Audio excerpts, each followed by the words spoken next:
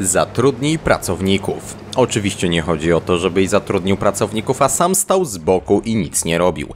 Jednak jeżeli na farmie masz więcej traktorów, więcej maszyn, to zatrudnij chociaż kilku pracowników do tego, żeby pomagali ci w twojej codziennej pracy. Pracownicy w Farmingu 22 są tani i jednocześnie dość mocno wydajni. Niestety wadą ich jest fakt, że czasem potrafią się zablokować albo stworzyć jakieś inne dziwne problemy. Tak czy inaczej jest to bardzo fajny sposób, żeby poznać jak działa mechanika Farminga 22.